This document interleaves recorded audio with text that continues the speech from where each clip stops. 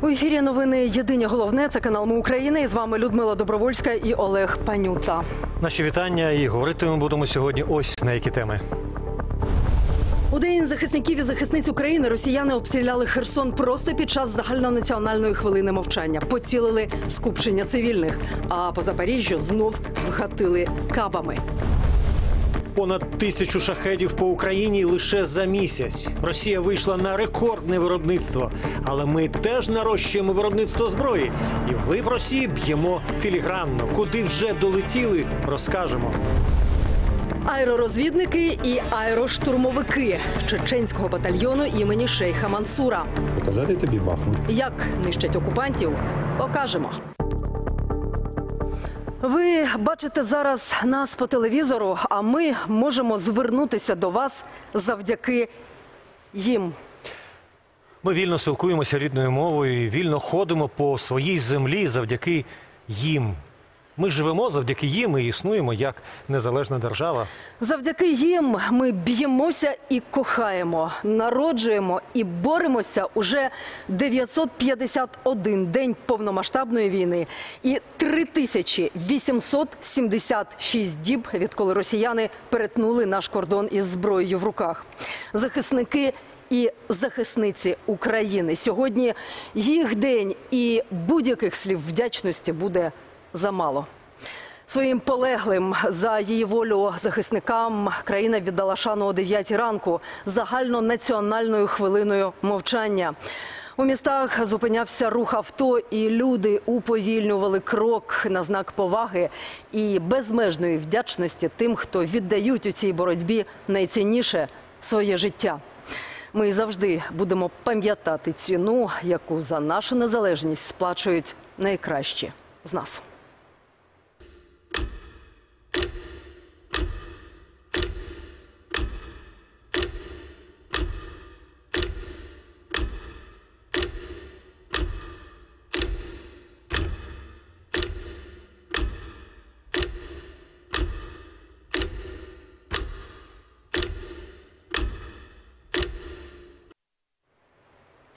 Володимир Зеленський сьогодні дякував воїнам у військовому шпиталі. Там вручив бійцям державні нагороди. Вдячність Володимир Зеленський висловив і українським медикам.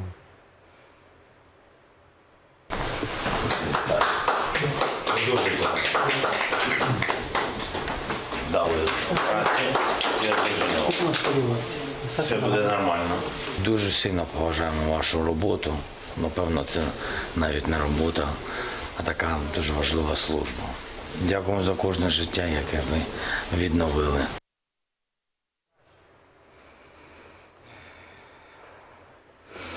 Росіяни ж сьогодні знову ударили кабами по Запоріжжю. Маємо інформацію про загиблого і вже про 32 поранених, включно із дітьми. На зв'язку звідти Олена Каптюх. Олено, дві години тому ти казала, що рятувальники обережно розбирають пошкоджені горішні поверхи житлової багатоповерхівки. Ці роботи ще тривають. Мешканці у безпеці зараз. Ну і власне, що із травмованими їхня кількість не збільшилася, і куди відселяють тих, хто втратив житло. Колеги, ми досі тут, хоча вже всі поїхали, і комунальники, і навіть поліцейські забрали свої останні палатки, які тут були. Е, Хочу відразу відповісти на запитання, чи в безпеці мешканці в Запоріжжі мешканці ніколи не бувають в безпеці через постійні терористичні атаки. Е, Сьогодні е, нас знов обстріляли кабами, попередньо кабами. Е, Одна з е, відомо зараз е, за останньою інформацією про 32 людини, які вже звернулися до е, лікарні за допомогою. Серед них три дитини. Це дівчинки 9, е, 12 і 10 е, років. На жаль, так дійсно у нас загинув чоловік. Йому було 70 років. А зараз в лікарні ще е, п'ятеро людей, з них двоє у важкому стані. Відомо, що е, цілий день тут на місці працювали з людьми психологи, бо люди були у дуже важкому психологічному стані. Багато хто з них е, був у- панічних е, настроях, багато хто отримав психологічний шок, психічний шок важкий, і їм знадобилася допомога психологів. Послухайте, що розповідають люди, які пережили удар авіабомби. Дуже тяжко, дуже тяжко.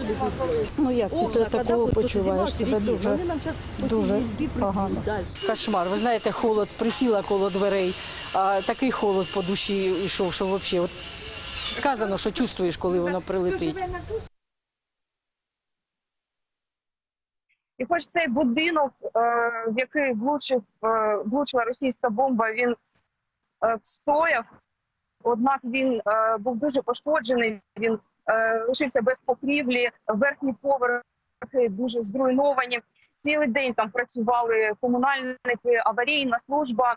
Е, Головне було завдання розібрати е, завали. Ми були всередині цього будинку. Кілька квартир зайшли, подивилися. Вони були просто розтрощені.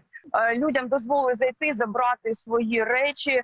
Е, Ми поспілкувалися із е, аварійною службою. Вони сказали, що вже зараз е, дуже важко тут працювати, вже темно.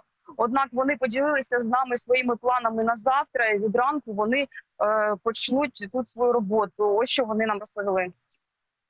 Будемо зараз обстеження робити, там вон плита підірвана. Зараз обстежимо її і будемо розбирати балкони.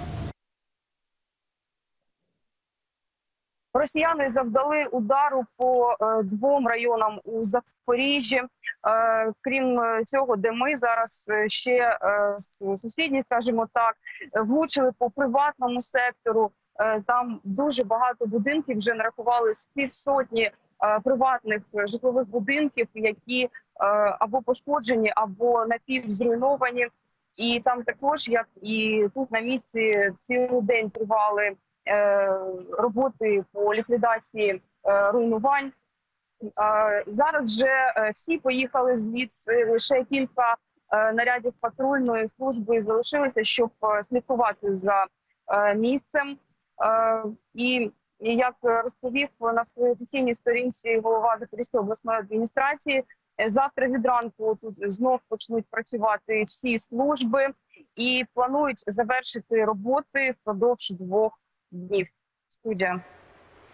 Олена, дякуємо. Олена Каптюх із Запоріжжя атакована сьогодні керованими авіабомбами. Попередньо їх було шість. А центральний район Херсона росіяни обстріляли сьогодні з артилерії під час загальнонаціональної хвилини мовчання о 9 ранку. Поцілили поблизу ринку, зупинки громадського транспорту і аптеки по людних місцях. Шестеро херсонців загинули на місці і ще стільки ж зараз перебувають у лікарні. Серед убитих росіянами ті, хто чекав на маршрутку, продавці городини. Попри те, що поруч були і укриття, і підземний перехід, люди не встигли сховатися. кажуть, щойно почули вихід з лівого берега. Приліт був за кілька секунд. Завтра в місті оголошено день жалоби. Біля центрального ринку був прильот на зупинку громадського транспорту. Шестеро людей, четверо чоловіків та двоє жінок загинули на місці. Це справжній терористичний акт. Примусову евакуацію дітей з батьками або тими, хто їх замінює, оголошено у 90 населених пунктах Сумщини. Наказ стосується Білопільської, Ворожбянської міських та Краснопільської, Хотінської селищних, Юнаківської, Миропільської та Миколаївської сільських територіальних громад Сумської області. До організації примусового вивезення дітей у більш безпечні місця залучені соціальні служби, поліція, рятувальники і військові.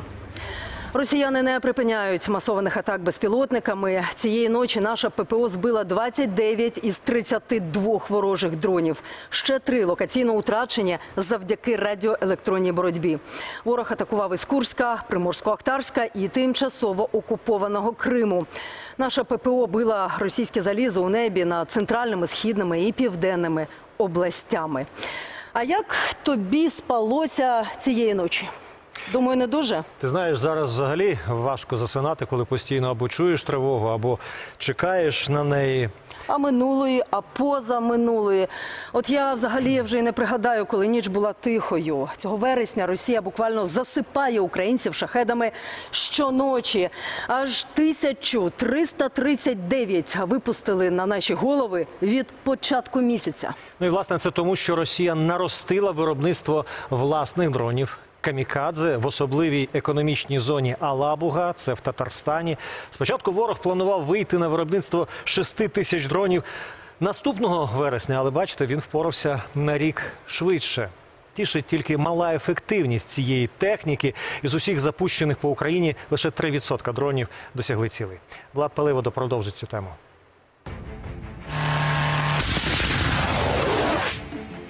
Ударні безпілотники стали ледь не головною зброєю атак по Україні. Б'ють росіяни по цивільних містах і селах. У вересні ворог вийшов на рекорд. Вперше від початку повномасштабної атакували безпілотниками щоночі. Всього за місяць понад 1300 шахедів. Якщо взяти середній показник, то це по 44 шахеди на добу. Використання цих шахедів, на мій погляд, сьогодні заповнює ту оперативну паузу, яких немає да, сьогодні оперативних цих пауз, кожен день летить, для того, щоб ворог в тому числі зміг накопичувати відповідно е, ракети для того, щоб вже більш пізній осінньо-зимовий сезон почати їх використовувати для нанесення точкових ударів по енергетичній і критичній інфраструктурі. Причиною таких масових пусків шахедів є успішне їхнє виготовлення на території Російської Федерації. Виготовляє РФ ударні безпілотники у Татарстані в особливій економічній зоні Алабуга. За планами, Росія мала виготовити 6 тисяч дронів до вересня 2025 року. Проте цю позначку Росія подолала вже у вересні 2024-го. Це завдяки тому, що Китай безперервно поставляє комп- комплектуючі для цих безпілотників. От і е, ну, наприклад, двигуни, да, і дешеву радіоелектроніку, якої досить для того, щоб зібрати всю систему управління цим безпілотникам. Крім того, вони готуються до виробництва шахедів ще й в Китаї. Подібні до шахедів конструкції розробляються випуск... ну, планується випускати не лише в Єлабузі, а ще там десь здається під Курском ще на одному заводі росіяни планують налагодити виробництво цих безпілотників. Щоб досягти більшого ефекту, ворог постійно змінює тактику та модернізує безпілотники. Зокрема, тепер вони можуть літати над Україною більше часу. Був період, коли дуже високо ці шахеди залітали, тобто там 1800 2000 метрів. Е, Зараз от інколи не використовують е, висоти зовсім низькі, там е, умовно 250, 300, 400 метрів. Е, Ну, щоб таким чином е, максимально наблизитися відповідно до нашої території, максимально зменшити можливості тих же самих мобільних вогневих груп, е, відповідати, е, своєчасно виявляти перше, ну і потім е, вогнем вже намагатися знищувати ці дрони камікадзе. Проте наші воїни навчилися ефективно протистояти шахедам. Лише близько 3% досягає цілей. А у вересні наші сили ППО збили 1107 ударних безпілотників, що теж є рекордом. Здебільшого мобільні вогневі групи та авіація.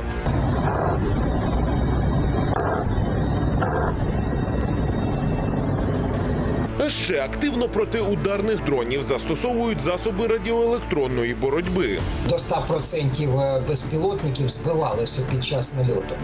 А треба ж раховувати не лише ті, які були фактично збиті, а ще й ті, які впали десь в полі, тобто втрачена, втрачена, значить, їх е, вони на маршруті втрачені, або ті, які залетіли на, на, на територію інших країн. Це теж треба додати як до тих, які були знищені або не виконали бойове завдання. Можливості наші теж зростають по знищенню цих шахедів, особливо зростають можливості по моніторингу. Та головною протидією шахедам експерти називають удари по місцях їх виготовлення. До слова, дрони вже долітали до Алабуги у квітні, саме туди, де збирають ударні безпілотники. Владислав Паливода, ми Україна, марафон. Єдині новини. Ну а наші виробники роблять ставку не так на кількість, як на якість атаки українських дронів по російській території і тимчасово окупованих наших землях. Вони вражають саме військові цілі ворога і так, що росіянам вже не переливки. І це ми ще не починали. До кінця року Україна виготовить ще півтора мільйони безпілотників, кажуть в уряді. То куди наші дрони вже долетіли, що їм вже вдалося знищити, і власне що саме це за пташки? Олена Чернякова знає. Ніч проти 29 вересня у Краснодарському краї не сплять. Спочатку чують постріли, за ними вибухи. Только что дрон сбили, горит, все. Палало на військовому аеродромі Ейськ за понад 600 кілометрів від наших кордонів. До слова, це звідти запускають шахеди по Україні та базуються пілоти та борти російської авіації. Цієї ж ночі дрони намагалися дістати арсенал боєприпасів у Волгоградській області, теж за 600 кілометрів від кордонів. За фактом генштаб повідомив про ураження складу. Під час цієї атаки Україна застосувала понад 120 ударних БПЛА. Як каже експерт, мета цієї операції могла бути дещо більшою ніж знищення одного об'єкта. Це не є закінчена операція. Певні операції робляться для того, щоб е, в подальшому, е, наприклад, отримати більш якісний результат. Незамінним елементом кожної атаки залишаються українські дрони. Так, морські БПЛА замінили Україні протикорабельні ракети. FPV на фронті частково перекривають дефіцит снарядів. А далекобійні ударні замість ракет нищать стратегічні об'єкти на Росії. Навіть можна помітити деяку тенденцію українських атак за останні чотири місяці. Липень-серпень під вогнем нафтова інфраструктура у дев'яти областях Росії.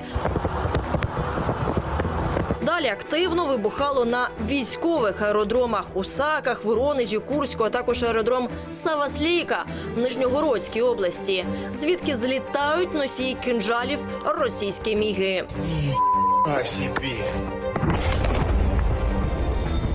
Вересень став фатальним для складів боєприпасів як на тимчасово окупованих територіях, так і далеко у тилу Росії. Масові нальоти відбуваються у середньому раз на 10 діб. Я називаю це тактику е, тисячі порізів, які призводять до е, стратегічних е, поразок. Я думаю, що це є загальний план, який передбачає певні удари і певні наслідки, які будуть е, потім, е, через деякий місяць, ми побачимо безпосередньо вже на лінії фронту. Після кожної атаки на Росії звітують про масові нальоти різних типів безпілотників.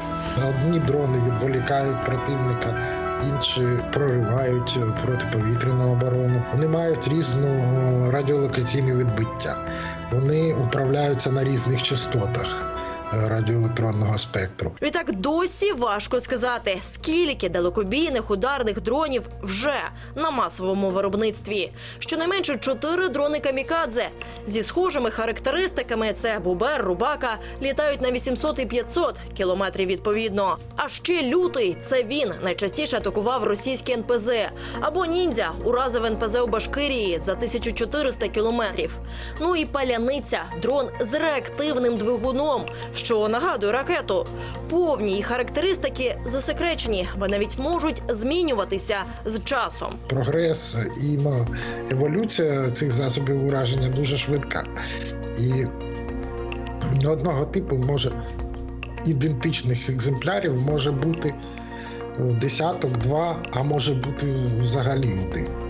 От, і наступний буде вже інша модернізація. Окрім тилу, дрони вже невід'ємна частина фронту. FPV розвідувальні навіть дракон, який фактично поливає лісозмугу вогнем, випалюючи посадки. Їх багато, та як пояснює військовий, постійно потребують модернізації. FPV-дрон – це в першу чергу спосіб доставки боєприпасу, якесь е, рішення там по відеозв'язку, по радіозв'язку з дроном, яке працювало там два тижні тому і давало хороший результат. Ти переїжджаєш на інший напрямок, і ти бачиш, що він більше не працює, і ти повинен заново перебрати все обладнання, зрозуміти, які можуть бути слабкі місця, Відтак за останні два роки Україна вийшла на небачений у світі рівень виробництва БПЛА. А зараз цей процес ще й подекуди повністю локалізований. багатьох підприємств виробників дронів локалізація складає 98%. Від е, плат до е, запасних частин все виробляється в Україні. Мільйон БПЛА за рік. Таку цифру обіцяв президент наприкінці грудня. І ця межа вже перейдена, зазначав голова уряду у серпні. Тепер каже експерт, є необхідність в об'єднанні усіх засобів під одну базу. Та головна потреба це кошти, адже зараз спроможність виробляти вища за можливість фінансувати. На виробництво дронів планують спрямувати частину фінансів від заморожених російських активів та країн-партнерів. Канада погодилась купити частину наших БПЛА. Щодо схожої угоди працюють і з іншими партнерами, зокрема Британією. Ця спроможність може, може сягати на цей рік 20 мільярдів е, доларів, з яких ми інвестували 7-8 мільярдів, і з яких е, з партнерів ми теж почали вже домовилися, що вони почали інвестувати. Водночас і Росія має ресурси і гроші на масштабування своїх засобів, а також наказ диктатора виготовити півтора мільйона дронів на цей рік. Олена Чернякова, ми Україна, марафон. Єдині новини. Повітряна підмога українським захисникам і захисницям. 50 квадрокоптерів для 13-ї бригади оперативного призначення Хартія передали волонтери фонду Енергія перемоги. Йдеться про півсотні потужних дронів моделі Autel Evo Max, які здатні вести розвідку та спостереження вдень та вночі, коригувати вогонь та проводити пошуково-рятувальні операції. Працювати такі пташки будуть на передовій на харківському напрямку. Загальна сума закуплених дронів близько 14 мільйонів гривень. Це дрони покращеної версії. В них дуже хороша камера. Е, Вони з нічною камерою і з тепловізійною, тобто вони можуть працювати і вдень, і вночі, бачити різні об'єкти. Вони працюють з покращеним посиленим gps зв'язком, тобто вони можуть перебувати і в складних умовах, не втрачаючи зв'язок. Ми дуже дякуємо нашим благодійникам. Це був групі компанії Нафтогаз. Зокрема, е, це голові правління Олексію Чернишову. Дрони вони відіграють одну з найважливіших а, в даній війні, тому що вони є, грубо кажучи, нашими очима, нашими помічниками, тобто вони допомагають нам виявити противника на великих відстанях, тобто від, е, до 12 кілометрів. Найгарячіше на фронті цієї доби на Куп'янському та Курахівському напрямках. Там Збройні сили України відбили по 17 ворожих атак. 14 разів намагалися штурмувати наші позиції на Покровському напрямку і били кабом протягом дня. До 10 атак збільшилася активність на Лиманському напрямку. Таке повідомляють у Генштабі. Від початку доби на фронті відбулося 74 бойових зіткнення. Кількість штурмів е, в районі північного прикордоння Харківщини вона відносно невелика. Це від двох до п'яти штурмів протягом доби. Е, Активність противника спостерігається, зокрема, це і в районі Вовчанська. Е, Тут противник наносить як самі удари по е, місту, по районах, де утримують оборону українські сили, і також намагається знищувати повністю це місто. Звичайно, зараз ми протягом кількох днів також бачимо, що тривають спроби ворога знайти слабкі місця в обороні. Це в районі глибокого, в районі тихого. Ну і знов про нашу аеророзвідку і аероштурмовиків. Люту повітряну смерть росіян, які прийшли в Україну із зброєю. Сьогодні ми розкажемо про операторів чеченського добровольчого батальйону імені шейха Мансура. Вони зараз на найгарячішому напрямку Донеччини. Ті, хто став для російських загарбників страшним сном, показали нашій Ользі Косенко, як готуються до чергової операції. Останній день перед бойовим виходом аеророзвідники чеченського добровольчого батальйону імені шейха Мансура перевіряють техніку. Місце обирають наближене до реальних бойових умов. До ворожих позицій менше 10 кілометрів, тому детектор дронів тут необхідність. Він попереджає, коли російські безпілотники наближаються занадто близько. Зала три, ух ты, четыре борта. Далеко близько. Далеко, далеко. Далеко, але все одно 6-7 кілометрів. Ворожі дрони поки на безпечній відстані. Бійці закріплюють антени, дістають свої безпілотники та вибухівку для скиду. Це зброс на Мавік. Осколочний. Для прикладу. Дрон готовий до зльоту. Але перший тренувальний політ невдалий. Один з пропелерів вигнувся, тому дрон не кориться пілотові. А не в- на певну сторону. Це і перевантаження на мотори йдуть. Тобі ж він в будь-який момент може сказати чао, бомбіно. Гвинт швидко замінили. Мавік з вибухівкою здіймається в небо. Краще? Краще. Уявну ціль уражено, інженер задоволений. Хамза один з оборонців Бахмута. Був штурмовиком, снайпером, нині в аеророзвідці. Його обов'язки виготовити сам боєприпас, підготувати його до роботи е, та прикріпити його до дрону. Все інше вже робить пілот. Ми ж не просто розвідка, ми паралельно шукаємо для себе цілі і самі їх і відпрацьовуємо. Іншими словами, знищують, б'ють дронами по ворожих бліндажах та техніці. Мають і чимало успішних розвідоперацій, як от ця.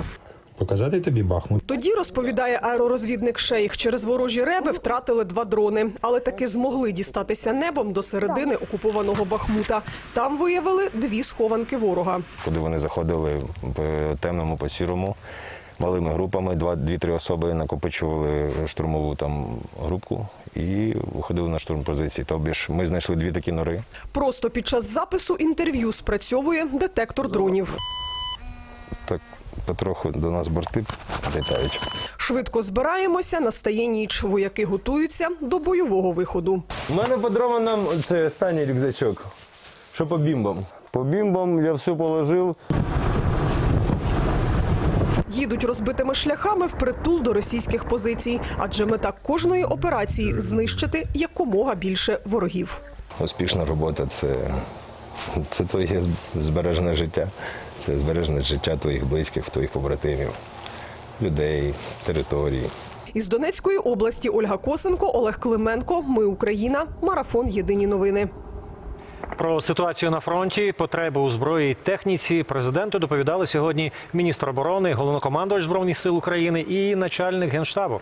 Говорили також про координацію з союзниками та підготовку до чергового Рамштайну. Із керівником головного управління розвідки Володимир Зеленський обговорив військові виклики на найближчий період і те, як на них ми мусимо відповісти.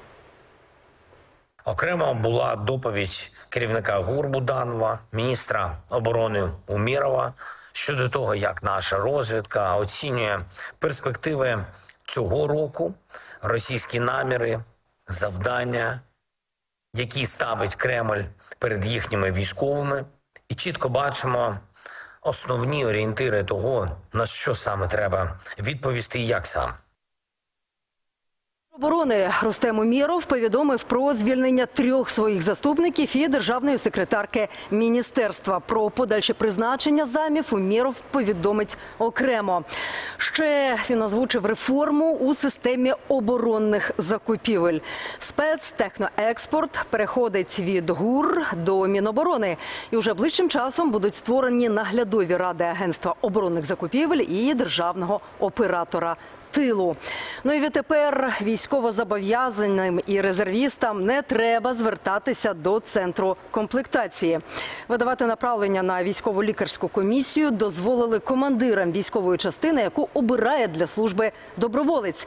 Вони ж комплектують свої підрозділи тими, хто бажає служити. А от перелік таких частин, командири яких можуть самі набирати поповнення, визначатиме генштаб ЗСУ. Ну і саме сьогодні, у день захисників і захисниць України, НАТО офіційно очолив Марк Рютте, колишній прем'єр Нідерландів та щирий прихильник України. Він змінив на цій посаді Єнса Столтенберга, котрий очолював альянс останні 10 років. Тож украй важливе для нас запитання: а що може змінитися для України зі зміною персоналів? Виклики, що стоять перед Рюте, настільки ж масштабні, наскільки і термінові, щоб не дати НАТО втратити його оборонну потенцію. Новому очільнику знадобиться уся його дипломатичність і уся твердість. Тепер багато чого залежить від того, чи зможе Рюте дійти консенсусу у альянсі із 32 країн. Наша Анна Грішина по темі. До штаб-квартири НАТО генсек, що йде у відставку, і його наступник заходять разом і по черзі роблять короткі заяви для преси. Маю визнати, залишаю альянс зі змішаними почуттями. Час йти. На моє місце приходить чудовий наступник. Міцний трансатлантичний зв'язок є основою нашого альянсу. Я можу вас запевнити, що докладу всіх зусиль, щоб він таким і залишався. Ми маємо збільшувати витрати на посилення нашої колективної оборони. Потім разом проводять останні для Столтенберга та перше для Рюте урочисте засідання. Вже екс-генсека, який очолював альянс 10 років, колеги проводжають оплесками.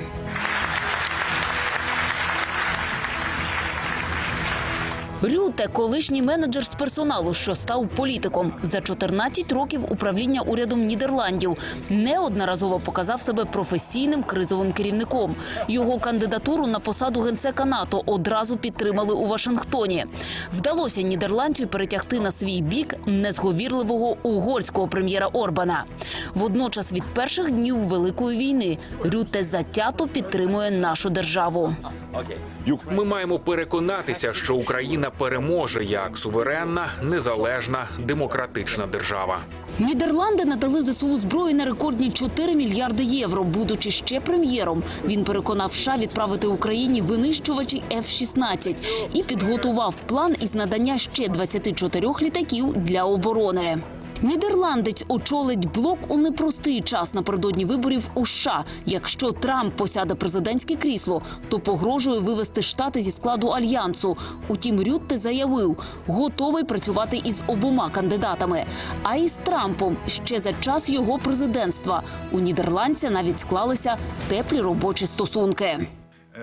Я чотири роки працював із Трампом. Він підштовхував нас витрачати більше на оборону, тому що зараз ми знаходимося на значно більшому рівні витрат, аніж коли він вступав на посаду 2017-го. Камала Гарріс має фантастичний послужний список. Вона лідер, якого я поважаю, і я здатен працювати з обома. Рюте вважає, що підтримка альянсом України не стане каменем спотикання між США та НАТО у разі президентства Трампа. Пообіцяв новий генсек і прискорити вступ України до військово-політичного блоку. У Європі не може бути довготривалої безпеки без сильної незалежної України. Я знаю з особистого досвіду після збиття рейсу MH17 у 2014 році, що конфлікт в Україні не обмежується лінією фронту. Марка Рюте ще називають майстром компромісів, і ці якості йому неабияк знадобляться на новій посаді. Адже генсекові НАТО доведеться домовлятися із усіма 32 членами блоку для ухвалення рішень альянсу. Серед них і проросійські Угорщина та Словаччина. З Брюсселя Анна Грішина. Ми Україна. Марафон. Єдині новини. Ваші душі за наші кривди написано на їхніх шевронах. Воїни Росомахи 15 місяців тримали оборону на вугледарському напрямку. Звільняли благодатне на Донеччині, Надію і Новоєгорівку на Луганщині. А зараз 68-ма окрема єгерська бригада імені Олекси Довбуша стримує масований наступ окупантів на Покровському напрямку. Наша знімальна група побувала на позиціях Росомах і спецрепортаж Марини Асмолової про бійців 25-ї окремої повітряно-десантної Січеславської бригади. Дивіться сьогодні о 21-й. Наскільки ви втомились? Та вже дуже. Морально, морально, напевно, більше навіть як, як фізично.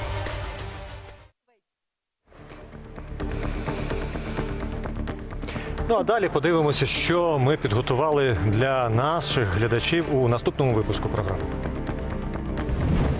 Далі у випуску. Що нового чекає на нас усіх від сьогодні? Що таке національний кешбек і як він працює? Про усі важливі зміни у фінансовій і соціальній сферах розкажемо. У день захисників і захисниць розкажемо про одного з українських янголів, того, що рятує під російськими ракетами наших дітей. Одна з унікальних операцій хірурга Охмадита. Українці сьогодні дякують своїй армії, де б вони не були розкидані по світу. У різних країнах вони виходять на вулиці, щоб укотре закликати НАТО надати Києву запрошення до альянсу. Ініціативу світового конгресу українців вже підтримали у Туреччині, Чехії, Угорщині, Італії, Великій Британії і Франції. Ну і ще більше наших співвітчизників за кордоном планують масові заходи цими вихідними, адже війна в Україні це боротьба за демократичні цінності та свободу усієї Європи. Одна із найчисельніших акцій у ці хвилини проходить у Парижі. Ну і звідти на прямому зв'язку із нами Юлія Шипунова, активістка світового конгресу українців. Пані Юлію, добрий вечір. Вітаємо вас. І що конкретно можете сказати відбувається? Бо ми маємо інформацію про одразу кілька масштабних заходів. І навіть якийсь флешмоб анонсували. Як сприймають усе це французи? Вони чують українців? Е, Доброго вечора, слава Україні! Е, Вітаю всіх цим днем, тому що справді завдяки воїнам ЗСУ сьогодні Україна тримається і тримається незалежно від того, де знаходяться українці. Сьогодні на площі в Парижі, на вулицях Парижа вийшли українці, французи. Небайдужі люди, і в таких футболках ви можете зараз бачити футболки подяки е, саме воїнам ЗСУ. Ви можете почути, як зараз е, кричать слава ЗСУ, е, присутні на сьогоднішньому мітингу.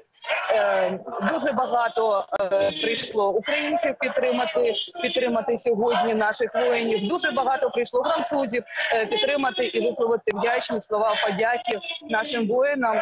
Крім того, справді був імпровізований флешмоб. е, Діти малювали серця, е, дякували знову ж таки нашим воїнам. От зараз відбувається концерт, відбувається перегляд фільму. Е, І реально, тобто, це центр Парижу, і ну небайдужих людей, які просто навіть проходять повз, їх немає, і тому що люди зупиняються, люди запитують. Дехто досі знову ж таки не знає, що Франція підтримує Україну і не припинить підтримку України, е, про що і декларується постійно. І на цьому наголошують організатори сьогоднішньої акції. Це е, об'єднання українців у Франції і світовий конгрес українців, тому що представники е, французькі представники е, цих організацій регулярно зустрічаються з французькими депутатами. Е, І на сьогоднішній день вже дійшли згоди про підтримку України в першу чергу це зброєю, і другу чергу е, підтримці для того, щоб визнати Росію державою терористом. Що, врешті-решт, світ має це сприйняти і зрозуміти, що так воно і є. От на сьогоднішній день згоду дійшли вже практично е, з усіма партіями. Залишилися лише ультраправі і ультраліві, але ну як на мене, це питання часу. Ну от на даний момент е, така от відбувається в нас акція студія. Дякуємо, пані Юлія. Юлія Шипунова, представниця світового конгресу українців з Парижа, де сьогодні, власне, як і по усьому світу, де зараз є наші співвітчизники, українці вийшли на вулиці, щоб нагадати світу ціну його спокою і вкотре закликати НАТО надати Києву запрошення до альянсу. Ну а далі про те, як стоїть Україна, про щити меч українського неба, про нашу авіацію, яку росіяни були поховали, тож були неабияк приголомшені майстерністю тих, хто вже у перші години великої війни піднялися у небо, щоб дати агресору лютий бій, і б'ються до сьогодні. Один із найдосвідченіших бойових пілотів міг 29 із позивним Смерека. Він зараз командир ескадрильї винищувачів Івано-Франківської 114-ї бригади тактичної авіації. Зазвичай наші захисники неба не показують облич. Та сьогодні із пілотом, із яким зустрілася наша Людмила Гаврилюк, ми вас познайомимо. Про будні пілотів винищувачів, їхні страхи і бойову сім'ю. Дивіться.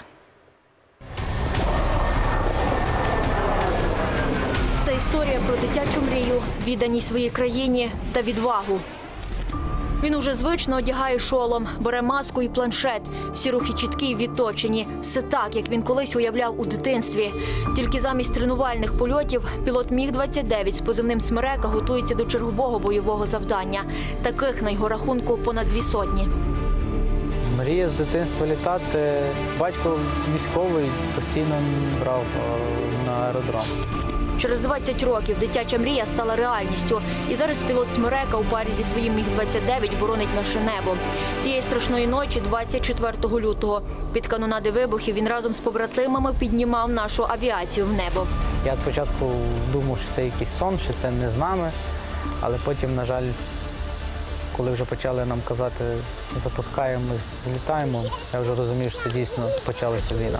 Перші місяці війни для Смереки, як і його побратимів, стали одним суцільним бойовим завданням. Без сну відпочинку вони злітали один за одним на зустріч ворогу. Навіть не, не задаєш питання, чи ти там втомився, чи не втомився, чи ти спав, не спав. Ти розумієш, що потрібно відбивати, щоб вони не йшли далі. Кожен політ тоді був на грані можливостей. Ворожа авіація намагалась перехопити ініціативу в небі. Молодим пілотам доводилося в режимі реального часу вчитися воювати. Навіть тоді, коли землі попереджали по тобі пуски ракет. Ти чуєш, що тобі диктують, що там ракета від тебе 70, 60 і так все ближче і ближче, і ти вже думаєш, ну все, зараз значить вона десь має прилетіти. І ти дивишся там по дзеркалам, хоча це ти розумієш, що це секунда з просто часу і все. Ти або встигнеш катапультуватися, ну або, або не встигнеш. Що таке втрачати побратимів, Смерека переживав ще з перших днів Великої війни. Кожна втрата вона болюча, ти вириваєш по, по кусочку серця себе. Важко себе зібрати, але ти просто задаєш собі далі питання, що, на жаль, не превеликий жаль, війна триває, потрібно далі боротися, потрібно захищати. Тепер з загиблими побратимами говорить у небі. Коли я там повертаюся успішно з бойового завдання, то я все там говорю там Женя, Саша. е, Дякую, що ви мене підтримали. Пілоти вони всі такі забободні. Е, То я думаю, що вони просто десь там на хмаринці сидять і підтримують, там, підказують, як правильно робити. В таких надважких умовах шрамами на серці вони воюють майже три роки. Каже, за цей час змінилося усе від озброєння до специфіки їх використання. Зараз міг 29 не тільки винищувач. Всі нам розказували, та й в університеті, що винищувач це просто перекриття з повітря. Перших днів ми прикривали тільки з повітря. Зараз дійсно міг 29 виконує різні завдання. Саме Смерека одним з перших застосовував протирадіолокаційні ракети «Харм». Це був Херсонський напрямок. Е, Тоді була ціла спецоперація. Теж не забуваємо такий цей перший політ, тому що, по-перше, в тебе під крилом щось нове, незвичне, яке ти раніше цього не застосував. І питання в тому, що з міг 29-го це ніхто не застосовував, і ти не знаєш, як воно себе поведе, ця ракета, чи все буде добре. Адреналін, гордість була, що у нас все вийшло, і коли пішло там підтвердження про знищені, там були в кого які цілі, там буки, С-300. А зараз на своїх Міг-29 доводиться літати на критично низьких висотах. Вони дуже морально виснажують тебе. Ці польоти, тому що це розподіл уваги, тому що це лінія електропередач, дерева, посадки. Це все це все потрібно дуже велика увага. Це з одного боку, а з іншого боку, і високо страшно, тому що ти постійно під, під прицілом, тебе бачать всі, по тобі можуть пускати ракети, і вони пускають. Та як жартує, в польоті його береже бойовий талісман Мішаня. Я говорю, що у нього своя там медична книжка. Навіть бувало таке, що я йду вже до літака, забув. Я телефоную, бо знову ж таки, ми забобонні, там не можна повертатися. Я телефоную, заберіть і перевезіть мені до літака е, мого медведика. Все, питань нема, мене привозять. Я без нього навіть не, не запускаю літак. А на землі його чекають найдорожчі. В нас є така традиція. Він має мені зателефонувати до е, виконання бойового завдання і після. В середньому це десь триває година-півтори. Тобто я вже отак, от лише на телефоні, на телефоні, там година, ще трошки чекаю, там похибка 15 хвилин. І якщо це вже час перетинає більше ніж півтори години, то в голові вже були різні сценарії. І як ми знаємо, що завжди погано думка лізе в голову. Але найважливіше це, звісно, почути його голос після. Я на землі. От такий в нас пароль. Зараз наші захисники неба молоді 30-річні хлопці. Більшість з них одногрупники. Саме вони кожного дня, ризикуючи власним життям, доводять цілому світу. Українські пілоти готові опановувати найсучасніші бойові літаки, бо знають за що, і головне за кого воюють. Я мрію, щоб це все закінчилось. Закінчилася клята війна, щоб моя дитина не бігала в мами на руках в укриття, щоб не було цього серед ночі постійний стрес, хвилювання. Тому ти знаходиш сили через них і ти розумієш, що зарад- якщо не ми, то хто?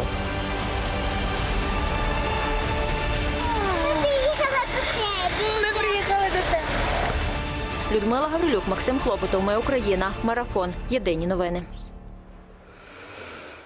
Тигран щойно запустив уже більше чотирьох сотень балістичних ракет на Ізраїль, заявляє армія оборони Ізраїлю. У центральній і південній частини країни виють сирени. У мережі публікують кадри вибухів і прильотів по Тель-Авіву. Це помста Ірана за вбивство ватажка Хезболи Хасана Насрали і відповідь за наземний наступ Цахал проти Хезболи на півдні Лівану. Операцію Північні стріли армія оборони Ізраїля розпочала, щоб відтіснити бойовиків бойовиків від свого кордону. І за даними ізраїльських змі, ліванська армія нібито вже відступила була на 5 кілометрів. Сухопутні сили оборони Ізраїлю підтримує авіація, і його артилерія б'є по базах виробництва зброї у Бейруті. Сполучені Штати заявили, що підтримують право Ізраїля захищатися і схвалюють знищення інфраструктури бойовиків уздовж кордону задля гарантії, що ліванська Хезбола більше не нападе. Країни ЄС закликають своїх громадян негайно покинути Ліван, поки це ще можливо. Німеччина вже направила до Бейрута спеціальний військовий літак для підтримки від'їзду своїх дипломатів і членів їхніх сімей та членів німецьких організацій-партнерів. Італія закликає своїх громадян вилітати із Бейрута комерційними рейсами. А уряд Великої Британії перший евакуаційний рейс для британців зафрахтував на середу, наголосивши, що ситуація може погіршитися дуже швидко і далі гарантувати евакуацію буде неможливо. Ну і повертаємося до України. Перший день нового місяця він приніс нам нововведення у фінансовій і соціальній сферах. Вони обумовлені необхідністю наповнення держбюджету та боротьбою із недоброчесними фінансовими операціями. Наберуть чинності обмеження переказів із картки на картку і планується підвищення податків. Але уже можна буде отримати свій національний кешбек і зросте розмір допомоги по безробіттю. Що ще запрацює і як саме Тетяна Демух розкаже. Новий місяць, нові зміни. Від сьогодні є новини і у фінансовій сфері, і у соціальній. Отже, почнемо з витрат. Нові податки. Ще у вересні Верховна Рада ухвалила за основу законопроект про збільшення податків. Але важливий момент за відповідний документ ще не голосували у другому читанні.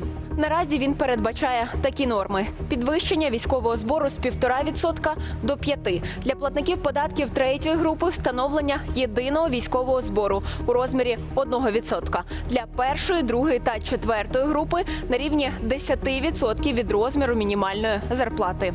Голосування за відповідний проєкт закону у другому читанні планується на середину жовтня, але у разі його ухвалення нові податки запровадять заднім числом, тобто з 1 жовтня.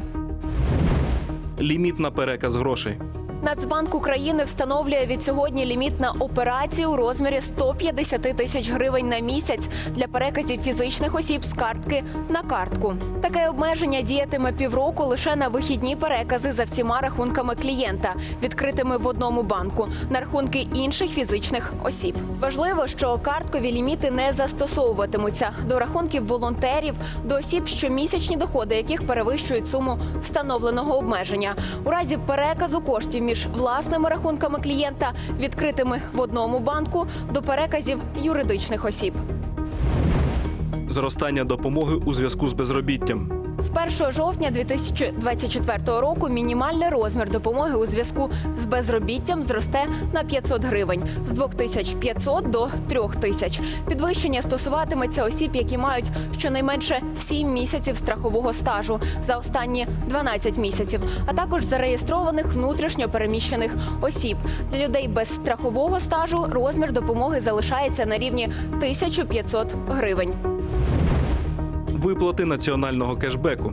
Програма запрацювала ще 2 вересня, а перший національний кешбек за здійснення покупки українці можуть отримати вже 20 жовтня. Максимальна сума кешбеку за місяць обмежена, і це 3 тисячі гривень. Надалі виплати здійснюватимуться раз на місяць, а саме до 20 числа наступного місяця. Перехід на зимовий час. Ще одна зміна, яка відбувається з року в рік в жовтні, це перехід на зимовий час. Стрілки годинника потрібно буде перевести на одну годину назад, тобто спатимете більше. Цей перехід ймовірно буде останнім, адже Верховна Рада ухвалила закон про відмову від літнього часу. Тетяна Демух, ми Україна, марафон. Єдині новини.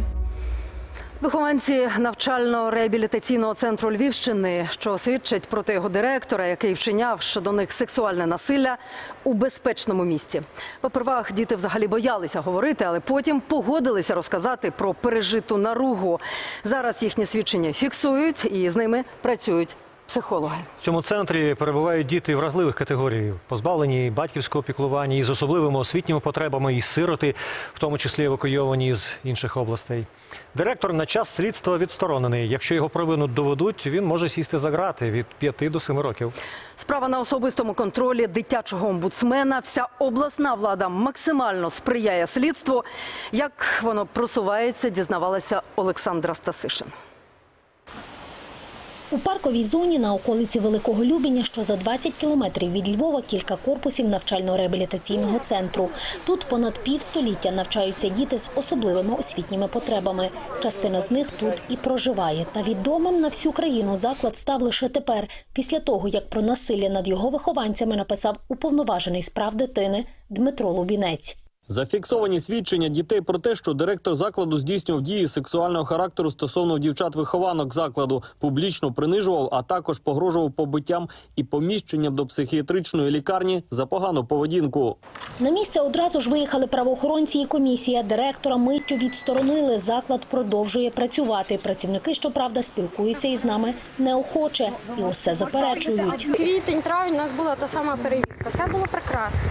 Нас до нас не було жодних претензій. За три місяці що трапилось?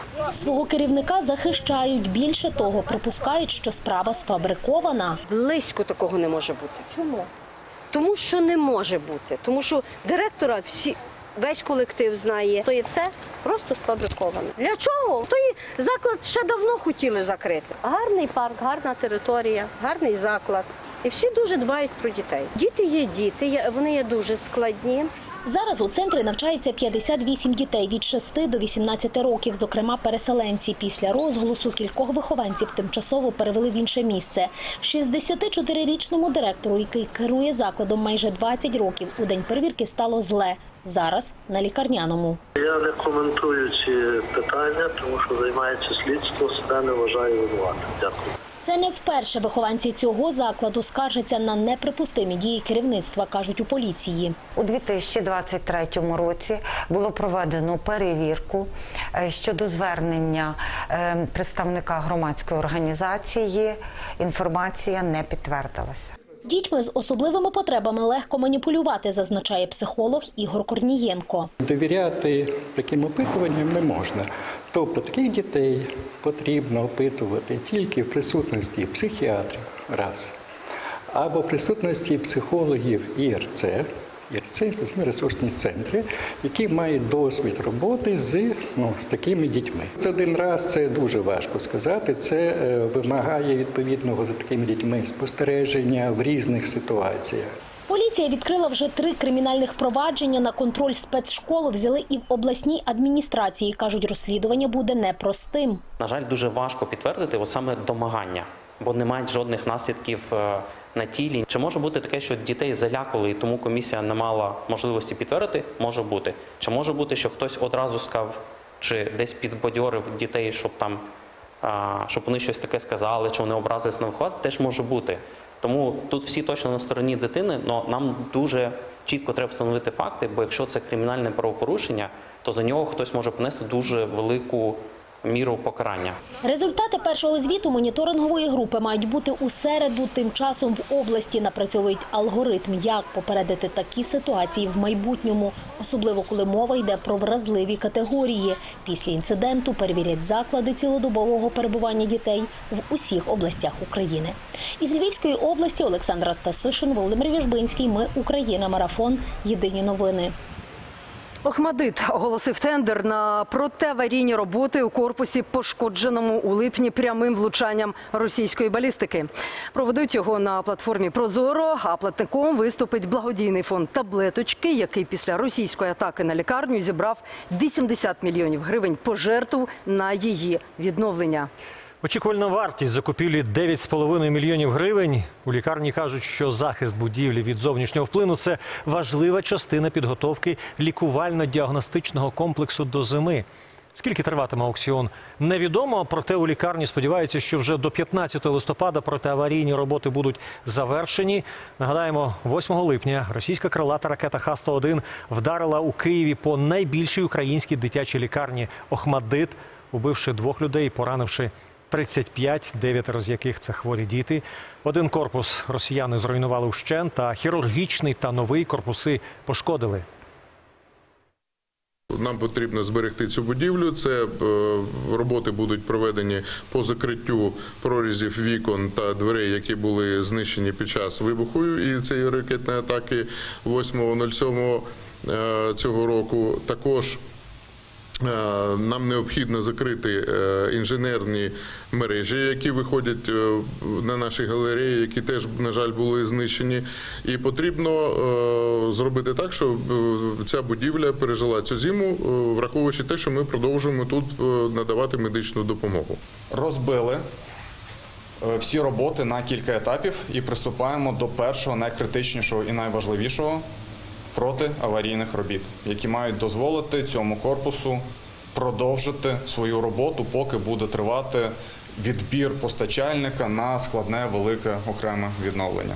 Зараз ми робимо саме протиаварійні роботи, і ці протиаварійні роботи ми вирішили профінансувати за рахунок донорських коштів. Знаєш, десь я чула фразу, яку відтоді просто не можу забути, бо це правда. Що українських янголів упізнати дуже просто. Усі вони носять форму. Піксель ЗСУ, спецодяг рятувальників чи білі і бірюзові халати медиків. І сьогодні, у день захисників і захисниць, ми розкажемо про одного з них, і ви усі його добре знаєте. У день ракетної атаки росіян на Охмадит його фото облетіло увесь світ. Це Олег Голубченко. Тоді ракета поцілила лікарню, коли дитина лежала в нього на операційному столі. Поранений хірург довів операцію до кінця, а потім закривавлений розбирав завали. Операція, про яку ми розкажемо зараз, вона теж є унікальною, але ще одноліцевий хірург Голубченко робить такі систематично, бо янголи на те і янголи, аби творити дива. Дитяча лікарня Гмодит оговтується після ракетного удару окупантів 8 липня. Лікарі приймають пацієнтів, проводять обстеження та операції. У лікарні нас зустрічає хірург Олег Голубченко. Його світлина з закривавленою медичною формою облетіла весь світ 8 липня, коли під час ворожого обстрілу він оперував п'ятимісячну дитину. Від ударної хвилі лікар закрив малюка своїм тілом. Я був е, другий хірург, медична сестра. Анестезіолог швидко зорієнтувався, під'єднав до ручної вентиляції. І діяли, як діяли, і все на щастя сталося добре. Олег Голубченко і надалі проводить операції з родженими вадами обличчя на день, два-три пацієнти. До кожної дитини окремий підхід. Вони всі різні. Немає щоб такі от по шаблону це робити. Зараз командою саме готується до операції. Наше найбільше переживання, щоб в нас все добре вийшло, щоб е, ми змогли допомогти. Це мені здається саме основна річ, за яку треба переживати. В операційній підключені апарати та підготовлені інструменти. На столі знов п'ятимісячна дитина. Будемо робити їй ніс та губу, вертати обли... ну, посмішку.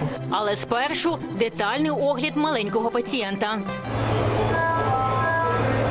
Маленький пацієнт вже в операційній лікарі працюють як одне ціле. Операція триватиме близько півтори години. Складні операції Олег Голубченка проводить дітям на обличчя вже сім років. Навчався в Криму після окупації півострова, перевівся у Київ. Пішов працювати в Охмадит. Під час цієї операції дитині сформували губу та скоригували ніс. Все, що ми планували, ми все зробили. Ну, тиждень після операційний період, е, знеболююча, антибактеріальна профілактика. От ми, вона буде знаходитися 6 днів у лікарні ще. Потім ми знімаємо шви, їх відпускаємо. І не буду раз в три місяці показуватись. На рік Олег робить 130 операцій. Це первинні, а є ще повторні. Бо шлях до нового обличчя буває складним та тривалим. Не обмежується однією операцією, бо дитина росте, її організм змінюється. Спостерігати, звичайно, там як будуть шлепи розвивати, як будуть зуби рости. Це все дуже важливо, як буде слух дитини, потім як вона буде розмовляти. Тобто є логопедична корекція, якщо логопедична не допомагає, хірургічний, потім коригуючі операції. В Україні вроджена вада губи та піднебіння зустрічається раз на півтисячі новонароджених. Через таку ваду діти стикаються з проблемами мовлення, слуху, дихання і навіть розвитку. Аби уникнути складних наслідків, лікарі закликають вчасно звертатися, аби встановити діагноз. Цю ваду можна побачити на УЗД діагностиці там, на 9-10 тижні. І від цього вже е, батьки будуть готові знати, що дитину там дуже добре зараз є діагностика, візуалізація, однобічна, двобічна, тільки губа чи губа піднебійня. Лікарі оперують віком від 4 місяців до 18 років. Олег показує фото пацієнтів, які зробив до операції і під час лікування. Такі дітей після наших операцій дуже добре зустрічають соціумі, і вони, скажімо так, не відрізняються і спокійно ростуть, ходять в садочок, там потім в школу і заводять сімейне життя. Ільвіна Сидбулаєва, Роман Гребельніков. Ми Україна. Марафон. Єдині новини.